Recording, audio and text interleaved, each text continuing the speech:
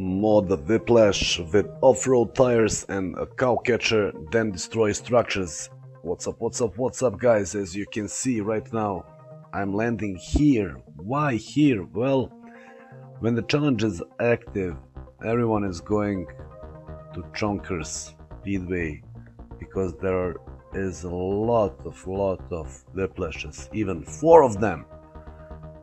But no one will come here Yes, you don't have off-road tires here and you don't have a cow catcher, but you can drive. It's a fuel, full fuel vehicle.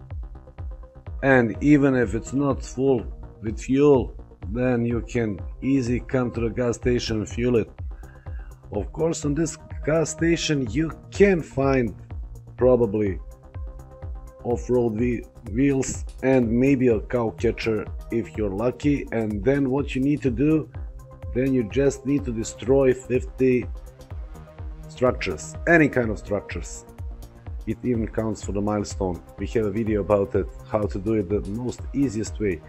So if you're lucky just search and you will find a cow catcher sooner or later like me right now.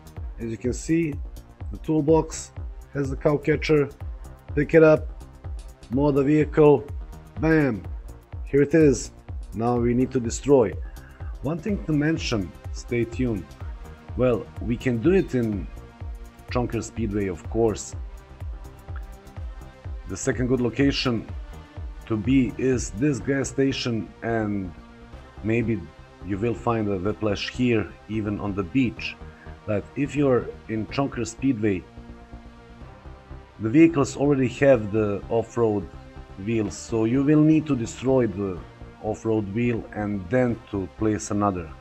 Of course, you can buy a cow catcher here from the NPC. You can find easily a tire. You can take a bounty. You can just emote. Hit that like button, subscribe button, share the video button, and most important thing is always share the love, guys. Share the love.